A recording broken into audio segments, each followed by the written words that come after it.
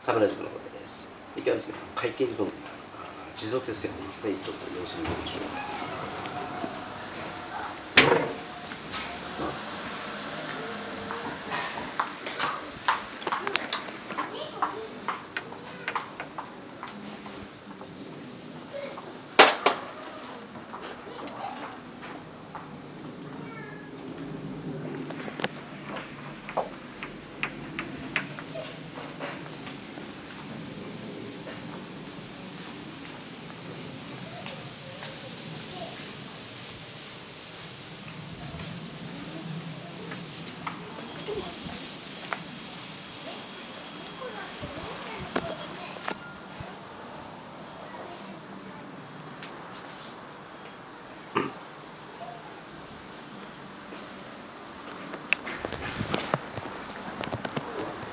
はい、えー、みんな真剣ですね。えー、ちょっと待ってくださいね。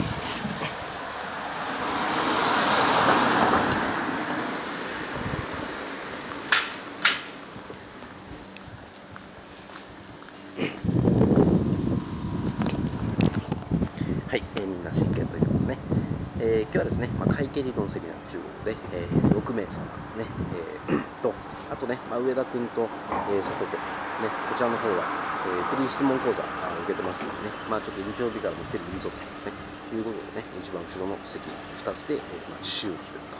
ね、えーいうことですね。で今日はね、朝10時から、えー6時半までね、会計理論セミナーやるんですけどね、えーまあ今日でね、重要なね、えー日書簿記1級、えー第131回の日書簿記1級の理論問題はね、もうすべて解決してしまおうと、ね、いうことでやりますね。で、それにあたってね、まあちょっと今、え実力テストをやってですね、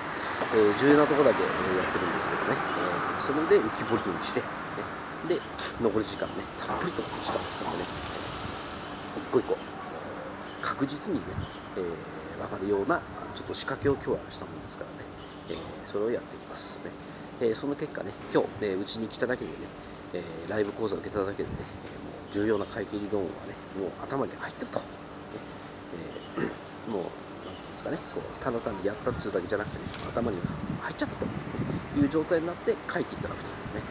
えーいうのが着手点です。ね。えー、したがってね、まあ、ライブ講座ね、特有のね、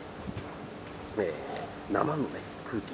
に触ってですね、で、ライブだからこそできるっていうね、今日は講義手法でやるんですけどね、